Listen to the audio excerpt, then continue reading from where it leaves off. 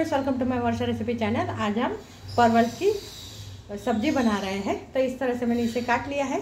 ये डेढ़ सौ ग्राम जितनी है, साथ में मैंने एक बड़ा प्याज लिया है, इसे लंबा काट लिया है। छोटे दो टमाटर लिए हैं। बड़ा होगा तो आप एक ही टमाटर लीजिए और इसे भी लंबे लंबे काट लिए चार पाँच लहसुन। इसे मैंने पीस बना दिए इस तरह से और एक लाल मिर्च लिया अभी हम चलते हैं गैस की तरफ़। अभी हमने पैन रख दिया है। तो इसमें डालते हैं दो टेबल स्पून जितना ऑयल। ऑयल को हम गर्म होने देते हैं।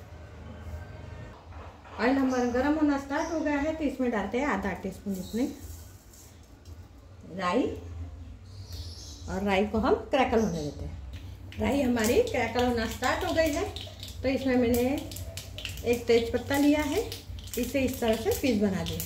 उसे डाल देते हैं, और जो ये हमने सूखे लाल मिर्च लिए ना, उसके भी दो पीस करके डाल देते हैं।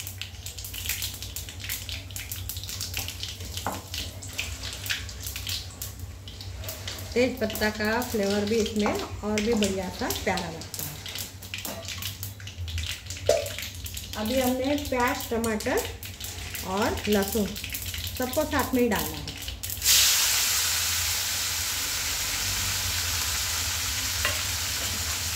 वैसे भी ये सब्ज़ी वो सब्ज़ी किसको पसंद नहीं आती तो आप इस तरह से बनाओगे ना तो न खाने वाले भी इसे एंजॉय करेंगे। तो आप ज़रूर ट्राई कीजिए इस तरह से बनाने का।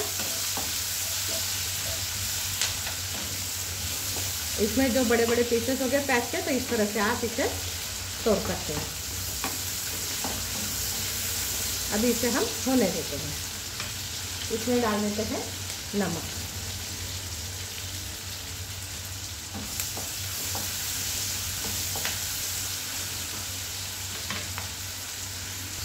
अभी इसे हमें पूरे ब्राउन या इस तरह से नहीं करना है। अभी ये थोड़े बहुत हो गया है तो इसे हमने जो परवल लिया है, वो डाल देते हैं।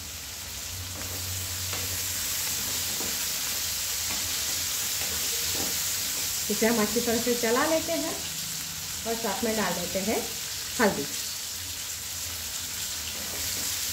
अभी वापस इसे हम चला लेते हैं और अब ये करते हैं इसे कवर। अभी देखिए, इसे हम चेक करते हैं। और ध्यान रखना है कि जो परवल है ना, एकदम सॉफ्ट नहीं होती है। थोड़ी सी कड़क रहती है और इसी तरह से सब्ज़ी ये बड़ी प्यारी लगती है। अभी देखिए, इसे हमने चला लिया है। तो इसमें मैं मलाई वाला पूरा भर के इस तरह से डाल रही हूँ। चाहे तो आप इसे क्रीम भी समझ सकते हो। ये पूरा क्रीमी है। पूरी मलाई है इसमें और थोड़ा सा दही ऐड किया हुआ है। तो ये क्या इतना बड़ा प्यारा लगता है? तो मैंने अलग, पहले ही मैंने बताया कि मैं थोड़ा अलग तरह से बना रही हूँ। तो अभी इस तरह से मैंने दही जो है वो डाल दिया है।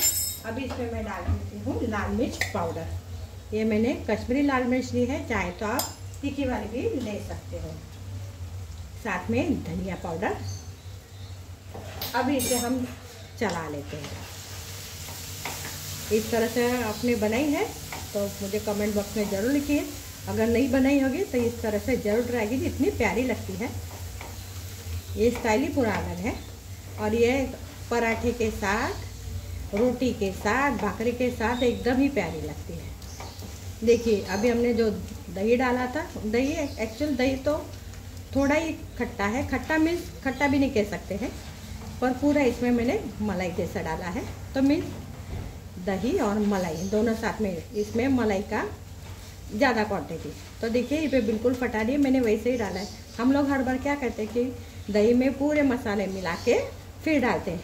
बट हमने अभी क्या किया है कि 50-60 परसेंट हमने इसे पका लिया है, उसके बाद हमने मलाई वाला दही इसमें ऐड किया है, और उसके बाद हमने लाल मिर्च पाउडर और धनिया धनिया पाउडर वो ऐड कर दिया है। अगर आपके पास कोरिएंडर है तो डाल दीजिए, मेरे पास अभी अवेलेबल नहीं है तो मैं नहीं डाल रही हूँ। अगर कोरिएंडर डालते तो और भी बढ़िया लगेगा। अभी इसे हम सिर्फ़ ढक के धीमी आँच पे दो मिनट तक पकाएँगे। ये देखिए, एक मिनट ही हो रहा है। ये देखिए, कितनी प्यारी बनी है। मैं आपको पास से बताती हूँ।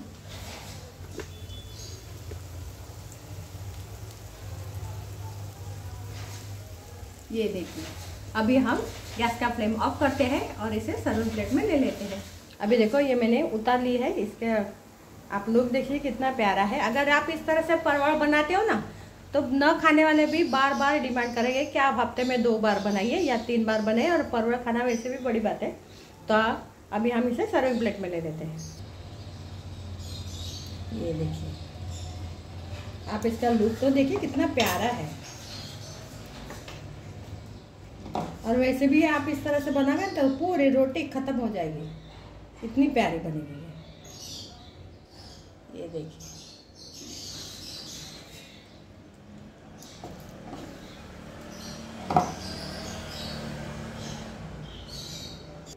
देखिए, हमारी परवल एकदम मस्त रेडी है खाने के लिए तो इस तरह से बनाए। मेरे चैनल को लाइक कीजिए शेयर कीजिए सब्सक्राइब पसंद आए तो फ्रेंड्स को ज़रूर शेयर कीजिए। और इस तरह से किस किस ने ट्राई किया तो वो ज़रूर मेरे साथ शेयर कीजिए कीजिएगा। और आपको थोड़ी भी रेसिपी पसंद आई होगी तो आप आपके फ्रेंड सर्कल्स या फिर फैमिली मेंबर्स के साथ शेयर कीजिए। और अब इस तरह से बना के देखिए कि इतनी बढ़िया प्यारी लगेगी ये रेसिपी तो आप ज़रूर ट्राई कीजिए और मेरे चैनल को सब्सक्राइब करना ना भूलिए। धन्यवाद।